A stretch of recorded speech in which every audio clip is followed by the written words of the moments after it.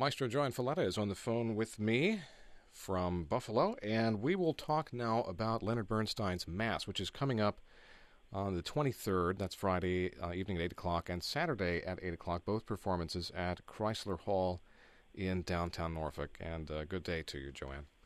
Hello. So this is uh, this is a big thing for you, the Leonard Bernstein Mass. Well, it's an enormous undertaking. It's my first time conducting it. I think uh, 99% of the people involved have not done it before.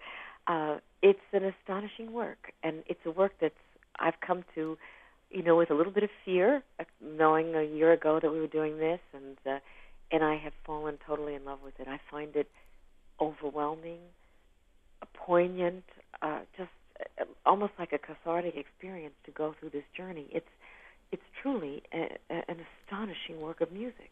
And it's not not only is it uh, just it's not just music. It's a, it's actually a stage work. I mean, it has uh, it has right. all sorts of things going on. Tell tell us a little bit well, about right, th- Anthony. It's hard to describe. I mean, it, it's a theater piece, really. I suppose, in in, in the true sense. Um, there's a there's a story that's going on, and with the orchestra, of course, playing. But there are singers. Uh, there are some singers who are opera singers. There are some singers who are Broadway singers. Uh, there are two choruses involved. Dancers are involved. Uh, the singers are acting all the time, telling this this story of uh, of really a, a kind of a faith and crisis of faith and a return to faith. And it's um, it's an amazing thing to see. I, I, I've been telling everyone I possibly can tell, anyone I run into in the street in Virginia, Norfolk, or, or Virginia Beach, that you have to come to this. You have to see this. You have to experience it. You will never forget it. And now I know why. You know, I came, came to learn about this piece actually through David and Susan Goode, who told me several times that they had been at the premiere in 1971 and they told me they'd never forgotten it. It was a night that they will never forget, that stayed with them all these decades. And I thought, wow, that's a powerful experience to remember all these years. Now I know why. They're they're absolutely right. I mean, people who are at this performance will never forget it. It's it's it's an overwhelming piece of theater, music, and and uh, and acting. Something that some people may not know about this work is that it actually also includes the work of Paul Simon and Stephen Schwartz. It does. It does. And Paul Simon, of course, one of my favorites of favorites. Uh, I'm particularly tickled about. It seemed that he sent a, a little gift to Leonard Bernstein, a quatrain uh, of a poem, really. And Bernstein was so tickled by this that he put it in the mass. And it's uh, it's you know it's it's in typical '60s style. It's a poem about uh, you know, give us peace and and uh, and uh, you know we need change and and a feeling of unrest and, and the the feeling that was so strong in the 60s of of uh, finding a better way, you know, finding peace and finding a way for people to coexist and take care of our earth. And it's it's funny, Anthony. All of that is still so relevant now. Yes. So occasionally the the piece people have said, "Oh, that's a piece from the 70s." You know, it doesn't make any sense in our time absolutely untrue. I think the piece makes more sense in our time.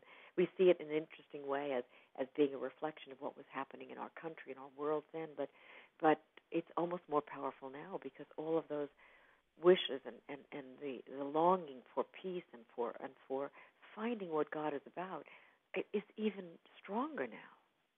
And the work was commissioned by Jackie Kennedy for the opening of the Kennedy Center in 1971. Do you know when when did Bernstein start working on this? You know, I I, I know he was working on it for for a couple of years, but I also know he he found it difficult.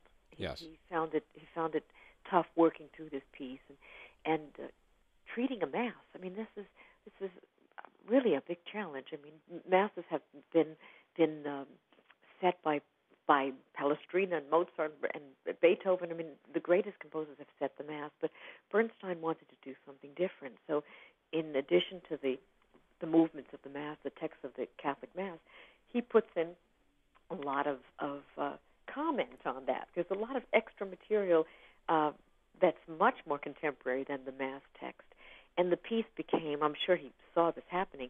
Uh, sprawling. I mean, it was just it was going in every direction. It became a world unto itself, and probably reining that in and making all of that make sense together was a challenge. But but she did commission it, and I think that they settled on a mass partly because of the staunch Catholicism of the Kennedys, of John Kennedy, and it was a wonderful tribute to him and his beliefs to set a mass. But uh, this was no ordinary mass, and in fact, uh, as you know, the the Catholic Church was not very happy with the outcome of this mass. Right, and it even has a rock band. It has a rock band. It has blues singers. Um, it's uh, it's set in a in a in a in an interesting way. I mean, it's set really sort of in a church with a, a celebrant who's the priest and his congregation, and and very simply, I mean, the celebrant is is trying to to help his congregation see that that God is the answer and God is always with us, and and the young people, these these members of his parish are questioning, well, well, how come God is not helping us? I mean, why isn't God here when these terrible things are happening? And and we start to feel the beginning of this unrest about, well, where is God? You know, we need Him now, and that's what the congregation is singing. We need Him now, and and so. Uh, he he finally, uh, after trying to to keep their faith alive, he suffers a devastating crisis of faith. He doesn't know if he believes anymore. He he's overwhelmed by everything he sees around him, and the congregation actually brings him back to faith. And the end is one of the most moving things that that I've ever experienced. Him him going through this terrible this terrible um, kind of psychological questioning and, and breakdown of everything he believes in and his realization that God is there all along. And it's it's a very beautiful ending, very beautiful ending of of a of a tumultuous piece. Can you tell me something about uh, about the performers, the various performers for this performance?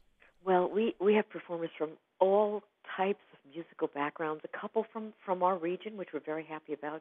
Um, I actually went up with Bob Schaup and Robert Cross and our director Pam Berlin to audition in New York City at, at in Chelsea Studios, and we had um, all of the greatest young singers and actors and actresses coming in to sing parts of the mass for us, and we were able to put together an incredible cast. I mean, these people are so vibrant, they're so gifted, they're such great performers that they make the story come alive. I think people sitting in the house will feel that they're right there in the room with them, that they're they're going through this as well. They're totally convincing, they're totally compelling. It's it's really overwhelming to be in the middle of all of that. And something else that's uh, really attractive about this uh, the set of performances is that Jamie Bernstein, uh, Leonard Bernstein's daughter, uh, will be doing uh, the pre-performance uh, panel that's right, and we're we're really honored to have her because she's in a way the kind of the caretaker of her father's legacy, and um, and she's the one who's going to ask her a lot of questions about what was your father thinking while he was writing this. Was he was he struggling? Was he worried? Uh, was he concerned at the at the, the the the frightened reaction of the Catholic Church or even the government about what this piece was about? Um, how did he react to all of that? And I know that all of us want to know the answers to those questions, and and uh, she, she having her here with us is going to be a, a great thing. Well, this sounds like a, it's going to be lots of fun, and uh, I want to thank you for, for coming on and, and talking with us about this. Well, thank you, Anthony. It's it's really it's a once in a lifetime experience, and I hope people will take advantage of it. All right, JoAnn Falletta, thank you for joining us today. Thank you.